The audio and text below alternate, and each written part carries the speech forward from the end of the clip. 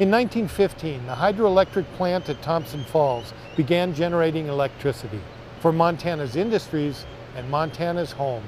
And that beginning brought an end to native fish migration along this stretch of the Clark Fork River. And then, So we were wandering around below this dam, uh, wondering if we could uh, catch fish here, where they might stack up.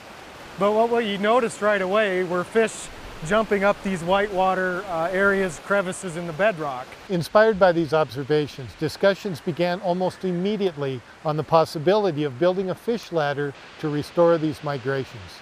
And recently, at a celebration in Thompson Falls, this story of possibility became a reality. These hydroelectric facilities were developed in some cases over 100 years ago. And what we're really doing is trying to prepare them for the next 100 years, but taking into account more resource management and stewardship of the uh, resource and the river for the benefit of Montanans and the wildlife and uh, fisheries that surround it. This ladder has 48 step pools that come up 75 feet to the top of the dam.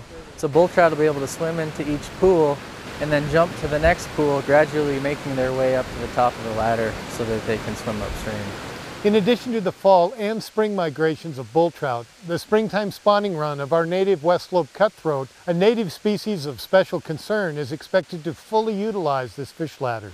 This is Mike Gurnett, out among Montana's fish, wildlife, and parks.